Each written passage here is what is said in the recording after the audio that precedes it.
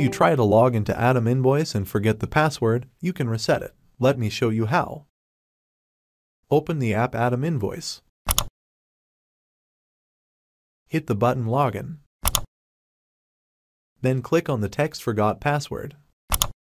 Enter the email address. And hit the button Email Password Reset Code. Right after that, the system will email you a password reset code. So, open your email box.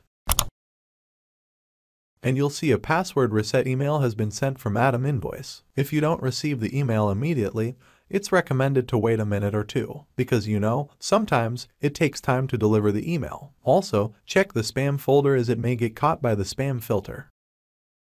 After waiting a bit, you see, I got a password reset email. Open it. There you'll get a password reset code. Go back to the Atom invoice.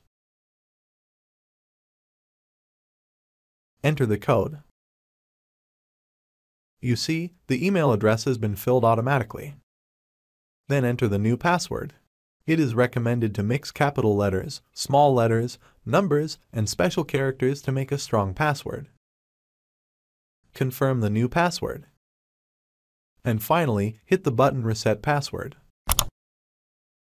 Congratulations, your password has been reset successfully. Now, click the text back to log in to log in using your newly created password.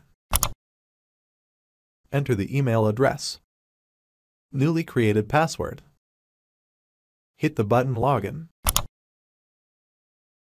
Welcome back. You've logged into your account successfully. Thanks for watching.